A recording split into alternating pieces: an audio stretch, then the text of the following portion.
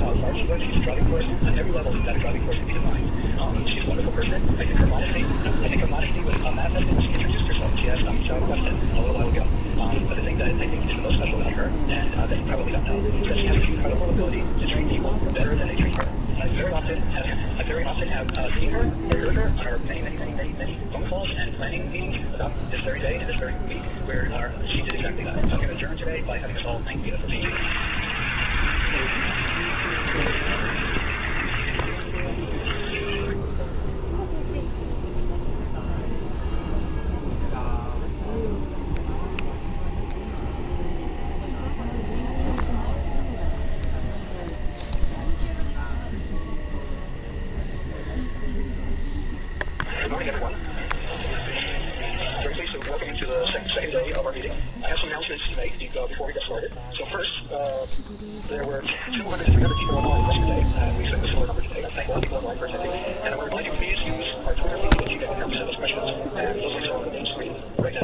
the the side screens as well. The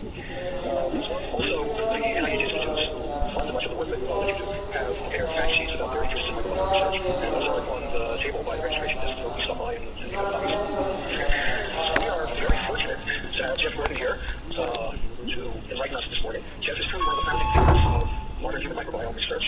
Uh, those of us reading microbiome papers for about 20 years, and all the younger people are trying to catch up.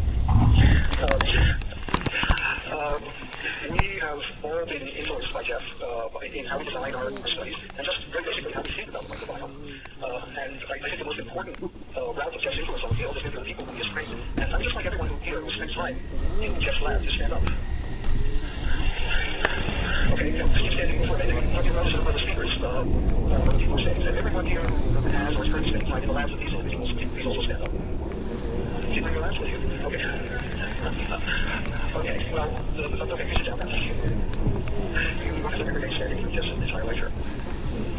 Uh, the, the people you see, the people who stood up are familiar to, uh, to all of us and have, uh, have transmitted, uh, transmitted the wisdom of the microbiome and continue to do so, as, as are the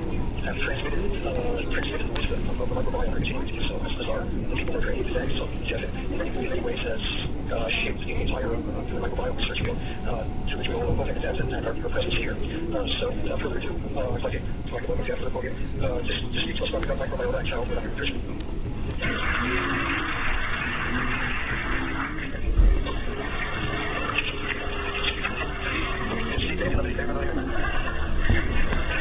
Kind words. And uh, um, this is spirit of I was saying. There's an African proverb, um, I think, uh, tech is spirit of science. Um, to go alone. If you want to go far, go together. Um, it's been my great privilege um, to be inspired by an academic group of students, postdocs, uh, staff, and um, uh, collaborators over the years. Um, this is a snapshot of the lab at the time present. Um, um, this is their story. I'll highlight a few of these individuals during the course of the next two and a half hours. I'm going to speak to you. Um, uh, that um, we're funded um, in large part this project by the World Education Foundation, um, which I think has had uh, enormous impact on science. Um, it has inspired uh, students uh, to look beyond self, um, beyond family, beyond community, even beyond nation, to look at the conditions uh, that uh, human beings live in this divine century for humanity, um, where we are tested um, our capacity to evolve psychologically, sociologically, and biologically to, to the point where we can care for one another, respect one another, um, we can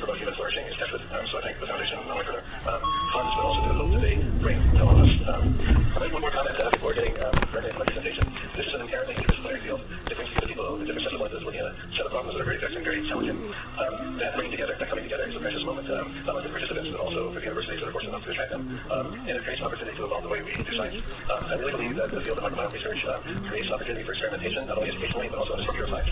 And bringing together people into ecosystems where high technology is democratized, made available on the bench, so that students can um, uh, pull the hypothesis out of themselves, design more controlled experiments, um, go directly to research themselves, look underneath the hood, uh, gather the data, massive amounts of data, and organize the data, um, focus on what outputs currently exist, what sorts of outputs have to be developed to be able to go to a cluster nearby, um, and to be able to keep their own jobs, uh, solve their own algorithms, see the data they find in the next experiment. And feel the way of thinking into in science is the first opportunity to bring together people who can co-evolve computational experimental biology. And I think one of the major focuses of this field is we speak with um, how it is some of the places within our institutions to encourage our institutions to make this a business, and especially ecosystems where we have access to technology, not just using technology, but actually commenting on technology, and the experience, creating test laboratories so people can figure and think um, beyond what's currently available in their own data. They can achieve success in many steps for scientific journey.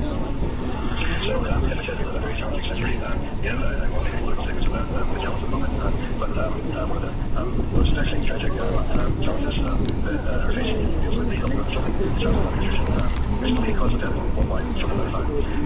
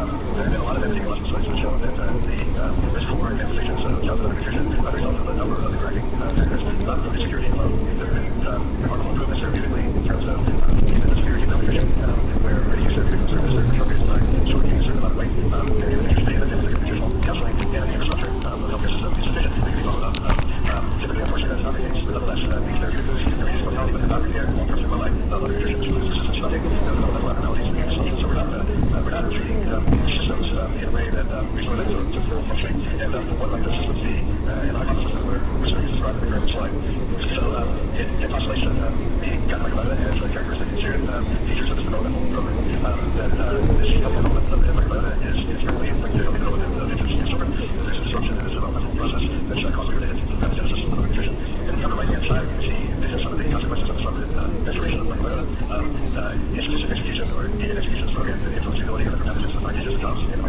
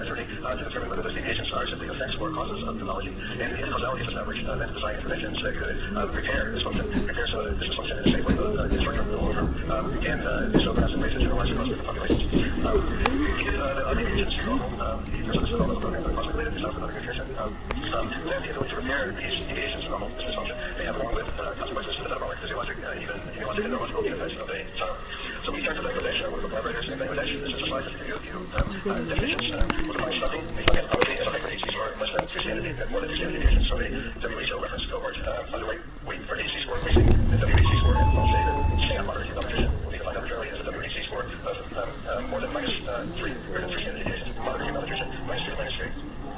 So the time normal in Bangladesh um, returned to an urban slum uh, in Dhaka, Airport. About 50,000 people living approximately five square miles. Um, our wonderful collaborators at icddr,b, International uh, the healthcare providers uh, and us here in Star And then, of course, as we for one important asset, uh, like a biosurgery that we do, time series studies, um, and also long-term follow-up of vaccines.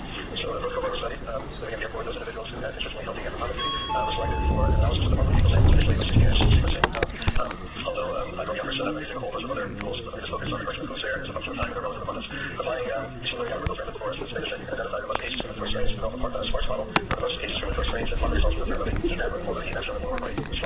Astronomers and photophysics with their telescopes were looking at the mysterious alignment each column is of unique and you see the changing patterns of representation of these 24 different taxa. If you take a look at the slice of the skin map, you can look at all the ones of these different person's frames and assign age or state of maturation to the microbiota.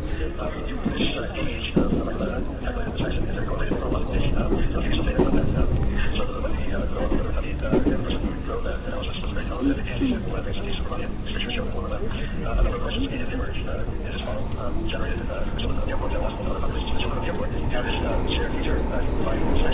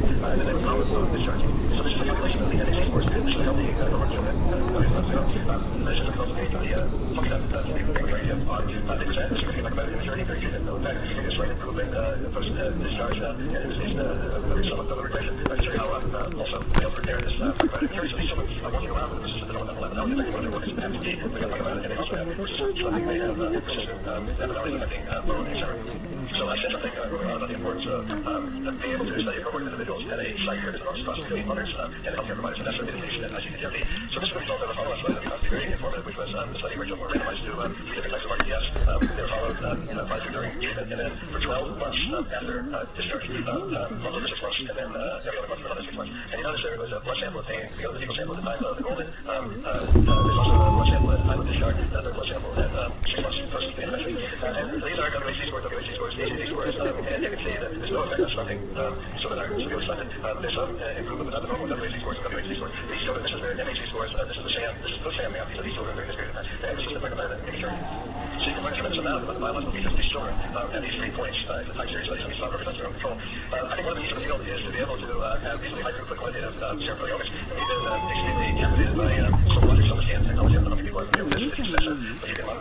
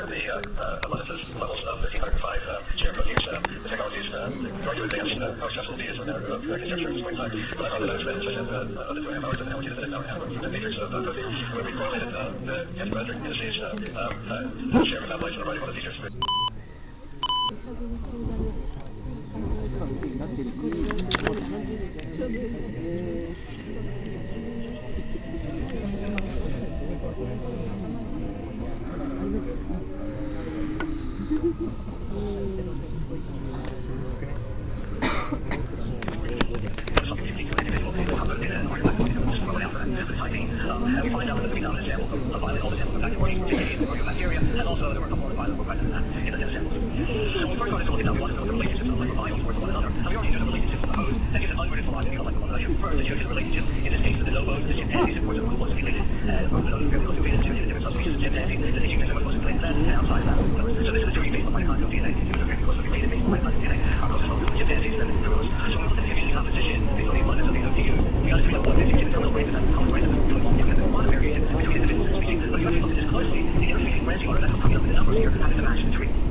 So this shows us that dose velocity actually is driving force in the versus microbiome. And so you can see the same species here plus 50 other cases of the microbiome. So if you were to give me a sample of any species, I can tell you what species is more close to the microbiome, but also the microbiome of the humans is more closely related to chimpanzees than uh, chimpanzee species are more closely related to the genetic relatedness. So we looked at that, but of course that's starting to bottom pilot terminal branches of all that. What are the forces that are driving the individual variation within the species? So we looked at a very large data set that was available at the time. Human, the data sets that were available to humans were not as extensive for this analysis. And we started looking at chimpanzee microbiomes. Uh, because there were lots of samples that were available from healthy chimpanzees collected over the past decades. So the same chimpanzees have taken over since 1960. Um, so chimpanzees are from two colonies. The colony, the total colonies in the geographic areas. So you can see whether you uh, you've been working on separation of microbiome. We also you can see if you know the genetic relatedness of the, the individuals. Uh, the parents of the offspring, they've all been large. Um, and so you can tell the update cells which individuals they came from. So we had that in cases where the parent, the offspring, there are cases where the parent, the offspring, and the offspring went into different colonies. There are cases also, there was a sample taken from 2008, cases were already correct. No, but also there are samples of seven individuals who were collected in the years 2000, 2001, 2008, and those are the ones that are cross hatched on here. So we had a total of 135 or 40 samples, we did the same exact procedure on that, and we saw what the story of the microbiome, what the story of the microbiome.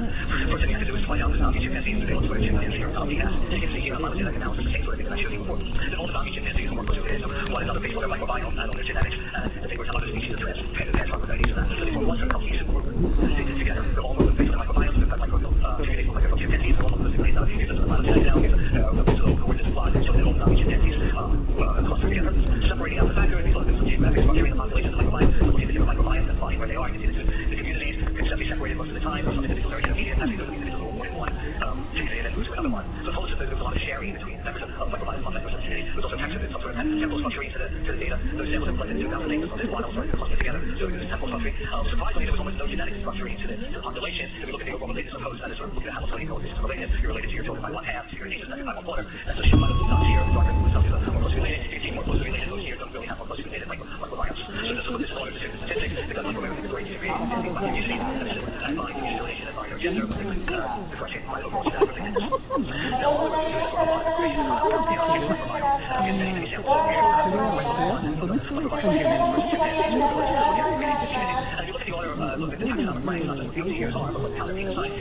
sort of a lot of creation of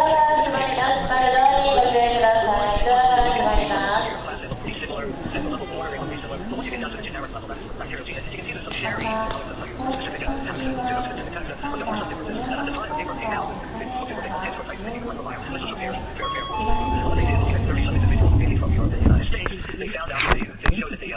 Uh, the microbiome stored in the three groups they were not nation content specific, they were related age, sex, or body method sex. And what you to realize about enterotypes, these are not discrete groups, but they're based on the relative abundance of different taxa. So we have the enterotype 1 here, which is called the Bacteroides one, that the prevalence of Bacteroides in the group, and lots of other groups, there's the Prevotella enterotype, that is a proportion of high portion of Prevotella, and there's the Ruminococcus one. And so they said that there were three enterotypes based on the, the overall uh, relative abundance of, of different genera within, within the microbiome. Um, trying to figure out what the purpose of these enterotypes are, even they really that there are a few really big cases of. I would think about this one like Gary Wu, where they looked at the effects of diet, making diet, altered dietary patterns, you see the enterotypes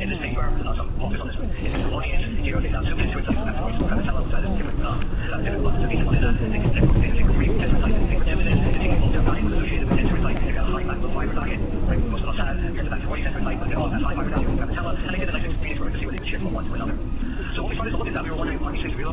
These enterotypes, we started to think about it. How, how can we compare this to chimpanzees? Are these human-specific features, or are they also created? Now, there arose on this switching diet to a high-fat diet. We should see that. I mean, they don't need very high-fat diets. But alternatively, the polymorphism is present and has been maintained in other species, and they to real adaptation. So what did we do? We looked at these young chimpanzees, were doing some study, and we focused on these because they're about the same age, human populations, as chimpanzee populations, and we focused on 100,000 years ago based on genetic data, and human populations that were five years ago, 100,000 years ago. So we did the same sort of analysis, we found the data, and we worked with this as we did, as we saw in human populations. And in fact, we had the same species thriving against chimpanzees and humans. So you can see here, this is Bacteroides one here, Bacteroides in the chimpanzee as well. So you have got the same enterotype having the same compositional features in chimpanzee and in humans. Also, as I mentioned, we had um, samples. We longitudinally looked at this, and we found that over a year period, every chimpanzee was lost species of enterotype. And so here, on a set of samples, we get multiple samples here, and you can see in every case that the social enterotype is one to know, which is the pattern taking among relatives, because we think some chimpanzees have these siblings that get slightly different enterotypes, and they have different enterotypes on that. Now, you might recall that as I mentioned, that if you give me a sample of chimpanzees, and you give me one of humans, I always differentiate these samples, tell you whether it's chimpanzee, like single sample, because it's based on the content of the microbiome. Okay, so I can separate them. So if you think about this, what does this tell you about the origin of enterotypes? Well, that means they were probably ancestral. That is, before that is a two of chimpanzees and humans left behind. We found some enterotype type features in the real as well. Um, it shows that they were ancestral, they were present in a common ancestor, and they've been maintained for millions of years and did not result provide as a mother, as a result of the modern diet. So if you think about this in evolutionary terms, you say there's an ancestral phase here of some genus here, and it's the following the lineages of chimpanzees and humans being separated for millions of years. This is the genetics of these organisms. And it's very reminiscent of things that are sort of symbionts that sort of co-diversify with their hosts. So the next thing we did was look at the pattern of co-diversification of microbes because it gave us the idea that maybe microbes somehow co-diversify with their host. And so we asked the question, did, like, did the bacteria co-diversify with their host during breeding evolution?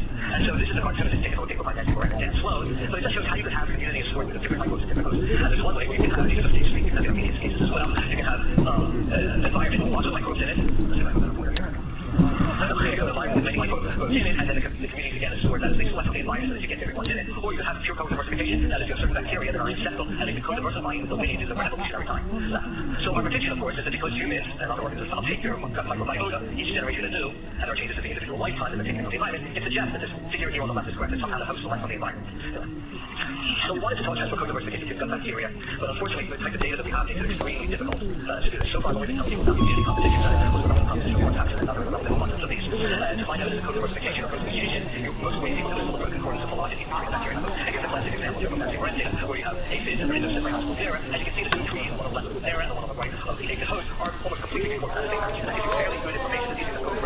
case, it over which you can see you can just compare between individual genes and sequences, and between them.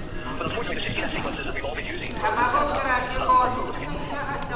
competition along the way too slowly. Was up to you to contain sequences that were from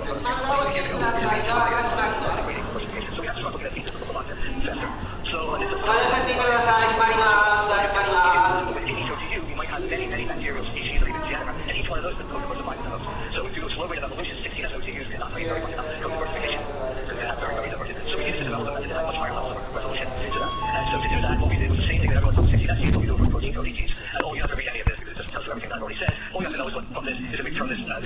tags. So we get 16S tags, sometimes they're called I tags, um, or pyro tags, depending on they are or L454 machine. But we just call these phyllo tags. We phylogeny of an individual gene that's in the microbiome. So we did this, and we focused on a gene called gyrase is in bacteria. We focused on individual bacterial families. So we this with microgorilla samples here. We looked at a couple families. The left is Raceae. If you look within a sample of gorillas, um, in that, you can take all the samples together. We have approximately 100,000 genes. If you look at that, we have a total of 425 of those genes were assigned to the left and overall you get 73 uh, OTUs at 99% level. If we look at gyrase species, of course, all of are targeted to the families, so we're 30,000 genes, all of that, we get 3,000 um, and the tags now sequences for OTUs of the species. More importantly, we looked at the bacteria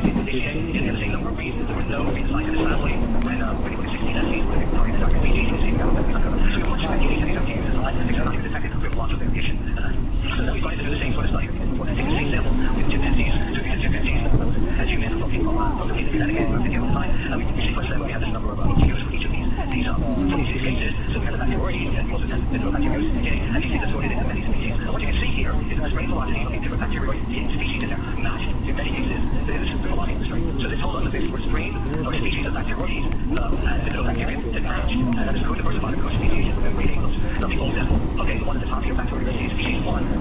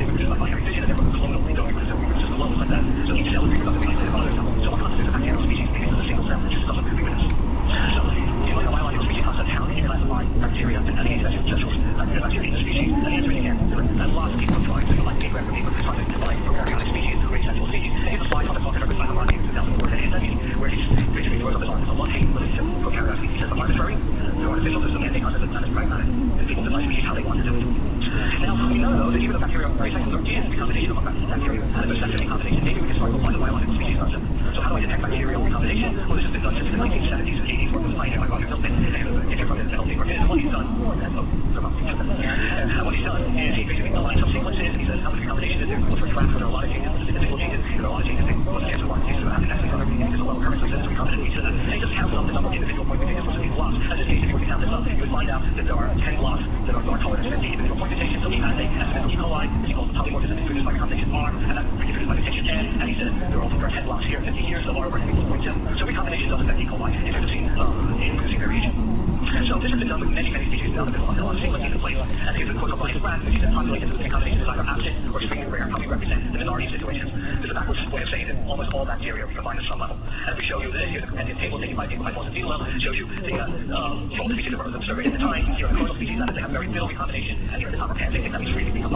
Thank you.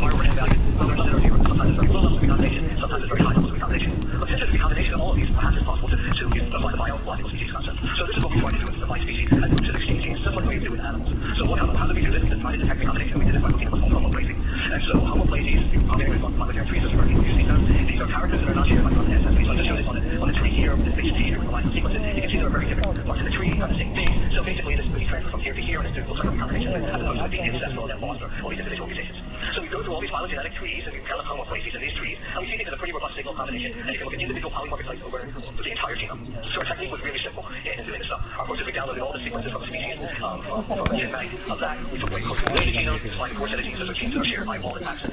We compute identify the number of homoplasic sites there are, mutational sites in that, and we have a definition of how to apply, apply homoplasy, and we define this, this one statistical feature for N, for, which is homoplasy versus mutations, for every phylogenetic tree. And so this is the only confusing slide that I'll show today, but this is just basically how we calculate this. And so here's a cartoon showing that we had a lot of strains, genome sequences. We, for example, four strains of it taken uh, randomly in the phylogenetic tree. We count the homoplasies of the mutations. We do that 100 times. We do that for five strains. We do that all up to n minus two subsample strains. And you would see a curve that looks something like this. This is not the asymptote. That has an eight value. It's usually less than one, but there's a lot of homoplasy going on versus mutations. If I happen to be a second species in there, for example, I'm just showing by the red dot, when you sample four strains, you're not going to get it. So the curve is going to sort of be identical. But once you start getting that one strain that doesn't recombine, you're going to see this precipitous drop in, in, the, um, in, in the distribution. So we look for these discontinuities, which tells us there's probably more than one species in there. And so we did this for the 97, for the 93 strains. I hope everyone memorized this and we Uh, our result is that the species falls into the main category. We have two biological species, which follow the, what I'll show you. We have cases that are clonal, that is, we don't find all the different, really low, we can't classify that as biological species. And then there's cases, like the area here, with the native species, this is 9, has where the discontinuity, we out the strains are from different species, we take them out, we run thousands, this, we're able to classify 85% of all named bacteria into species based on biological species concept. Even though bacteria are asexual, you can apply a biological species concept and apply real species of that. We wanted to see whether the test was robust, so we did it with second organisms, we did it with the bubble lab, we got the some simulant sequences in there, again, we get the discontinuity, we take out the same thing. We've done the same thing with the chimpanzees in chromosome 21, when you put the sequences of troglodytes and homo sapiens, together you find again this nice discontinuity, you take out the chimpanzee sequence, you get a nice smooth curve of that, which is nice because we know the human studies are for chimpanzees and we're separate species. When we look at that, then we can find out what the limits of diversity there is within a biological species. When people look at 16 sequences, say that 97% identity constitutes a species. However, we see cases where there's a biological species less than what is strange.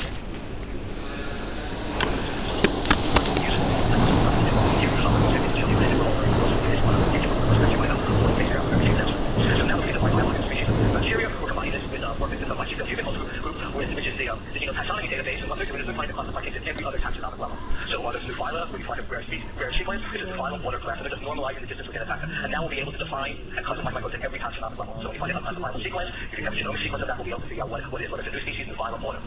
So just some general conclusions from what I told you today, and some unresolved issues that we want to think about the future, is host phylogeny, as differences that occur during the diversification of hominids, is a primary factor by which keep microbiomes are sort of evolutionary timescale. We know lots of other factors are going to be introduced in it, diet, geography, and, and so on. But there is a large phylogenetic signal to microbiome. And so in essence, we'll just look at average whole microplants, knowing that there has to be a particular set of, of, of, of microbes that are in there.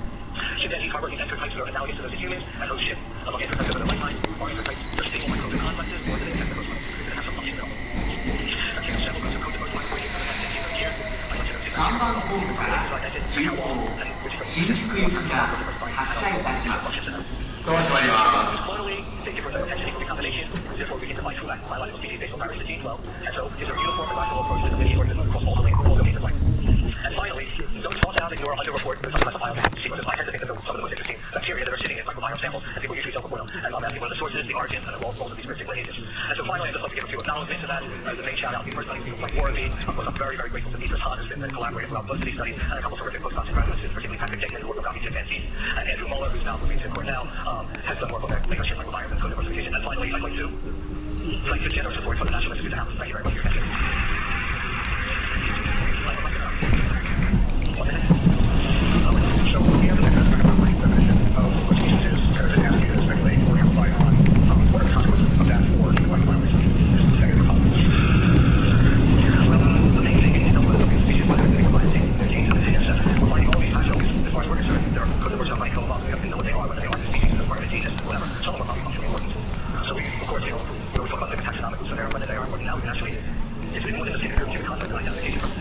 our genes within exchange between it and we're not. How the observation, um, I think it's really interesting to hear now accurate. Um, I think it's really interesting to observe these differences in composition of microbiome diversity. Have you given some consideration of how this might affect the translational relevance of mouse model research? The honest answer to that is I've never given it a thought. but if you give me a second, I thought about it all, I'm sorry to say. Okay, get right. Some of the differences, I, I like what you're doing, that species classification, uh, recombination concept is a good one thing. But some of the philosophy here, because geographically they're not in the same area, that is a capable of recombining, although they're not in the vision. So the thing I said is just physically I said that they wind up getting together, they might start recombining again. And are your thoughts about that? Right, so basically, it's the same question you always have. We have squirrels that are on both sides of the, um, of the Grand Canyon. We have no idea when they'll ever reproduce. So of course, this is just our definition of, of how we would divide species. We can't set up every potential mating in that. So there are geographic factors in that. We tend to think that in these cases, it, um, it's, accumulated enough genetic differences through time that eventually these things persist, these species persist, species will become separate species. That, but it's always about to classify species if you have ge- geographically separated whether they are part of the same or different species. That we're hoping that bacteria are widespread enough that actually, you know, they can get worldwide. We can actually see whether there's recombination within each group. And these, we just take all the sequences that are named of that group, so based on metabolic characters, that are named in GenBank. So some of them are from large geographic areas, but some again are from very restricted places. But that always be about of species. You to. Thank you. I'm going to ask all the speakers for session one to join us up here to save a little time to sit here. You know, all at once. Yeah, come on up here. And um, I'm having a problem, Walter. We don't as much about the uh, timer on the podium or here at the table. If Walter or anybody on the IT team is listening to this, yeah, I so. We're showing the timer because I was seeing myself.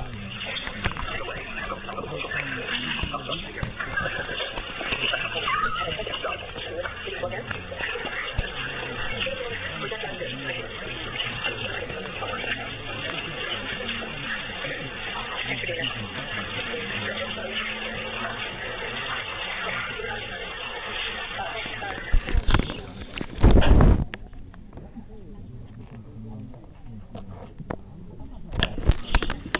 If we really reflect on the resource outcomes and legacy of and your investment in this field, um, we have the current investigators for phase two of the program. We also have Mary Perry, who's in the comments on the Office of Fundamental Activity. So I'm going to read all of the titles and all of them one at a time. Okay. Um, uh, the first title is uh, the NIH Microbiome Project Overview of the Microbiome Project Goals and Accomplishments, and that talk will be, are we good? Uh, that talk will be delivered by Dr. Mary Ellen Perry, who's in the Office of Director of Microbiome at NIH. The second talk will be delivered by Greg Buck, who's at Virginia Commonwealth University, and his talk is going to be entitled The Impact of the Microbiome of the Female Reproductive Tract on Health and Pregnancy. That will be followed by a talk by Mike Snyder, who's a reporter, um, with a Stanford University, and he'll discuss on this project integrated personal wellness profile during periods of environmental stress, assigning the challenge action with Curtis on the Rose Group on our Rose Institute. We'll talk about temporary because microbial nutrition and diagnosis of therapy and inflammatory bowel disease. I'll also read these as they come up. And remember the way these sessions are structured, there's a joint Q&A session. Each speaker will call out one group and a challenge, and we'll try to address that during the Q&A. So Mary, would you? Okay, I'm trying to get let's say, I'm sorry, the last person, and forgive me, is Owen White at the Thank you